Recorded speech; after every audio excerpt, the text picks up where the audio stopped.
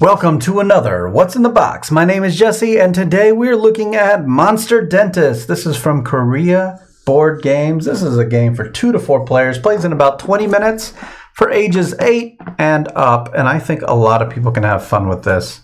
I've seen a couple gameplay videos, and we're going to actually give it a try over at twitch.tv slash heartboardgames, which is what, usually what I tell you about when I'm peeling off the plastic.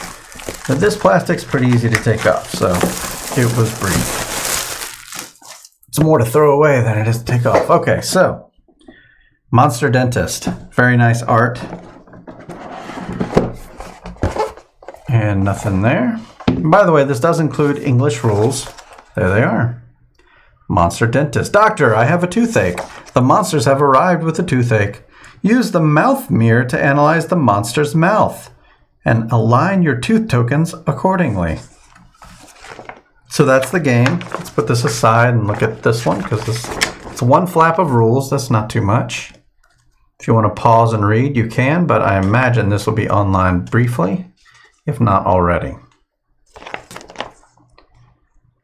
So two to four players for this. Okay, here's our monsters. Very nice monsters. Cool. Here's our board. Dentist floor, I guess. Very nice insert already. Was not expecting that. And everything's already popped and in place. I mean, I didn't have to do any of this. That's... Uh, why? why wouldn't they just make us do this? Okay, sure. Um, what is this? Oh, oh, it holds the thing together. That's right. Um, I have all this, by the way. Those are stands. Problem cards. So, um, interesting. Player boards. Yeah, there they are. We have our mouth mirrors. Check this out. Um, oh, here we go. So I think these are authentic. They have uh, medical stickers on there. And there you go. What? That's pretty clear. Hey, I see it. Open wide. All right, that's a little too fun.